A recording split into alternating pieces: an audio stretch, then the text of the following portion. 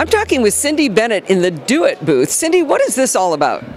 So DOIT is an acronym that stands for Disability, Opportunity, Internetworking, and Technology, and we're an office within the IT unit at the University of Washington, and we do a couple of things. Um, so just in summary, we manage several grants, a lot of them from the National Science Foundation, which support students with disabilities pursuing STEM, so science, technology, engineering, and math careers.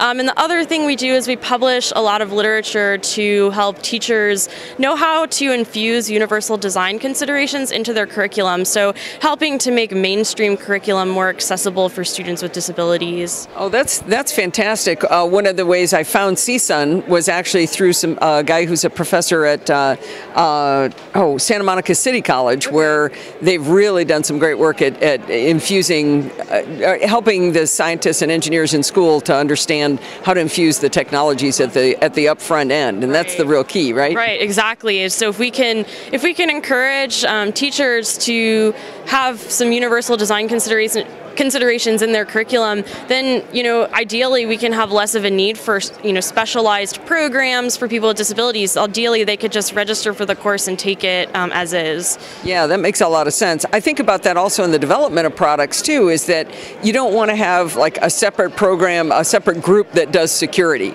or a separate group that does accessibility. Right, right, no, yeah. you, you, it needs to be the underlying security and, and accessibility need to be the underlying principle in everything you build. Yeah. It's like saying, okay, we'll add ethics to to the company later. Right. No. no yeah. No. And I, and I really consider accessibility an ethical consideration, right? And we teach students just thinking about computer science, right? We teach students how to uh, about ethics and about how to code well, so that people can understand your code at the very beginning. And I think that's exactly where accessibility um, should be fitting in. So. Yeah, I agree with that. So this is specific to the University of Washington. Is that correct? Oh, our programs are far-reaching. So we um, we work for the University of Washington, but we have programs that anyone all over the U.S. can take take advantage of. Okay, and this is, let's see, it's uh, on Twitter, it's DO-IT UW.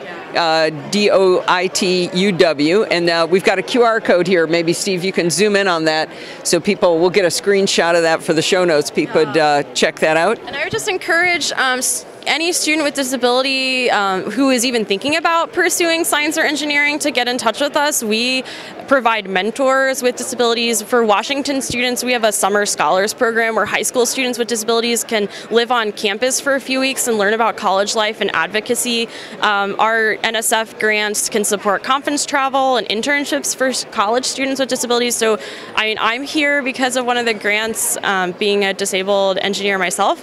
So I really can't say enough good things about what we do, and, and there's support financial and mentorship available. People just need to get in touch with us. That summer thing sounds like a party. Yeah, it's it, I, you know I wasn't a high school student in Washington. I wish I was because I mean to be able to have that exposure to not only other students with disabilities, professionals with disabilities, but also just that exposure to get used to campus life and learn a little bit more about what it's like to be in college and how to advocate.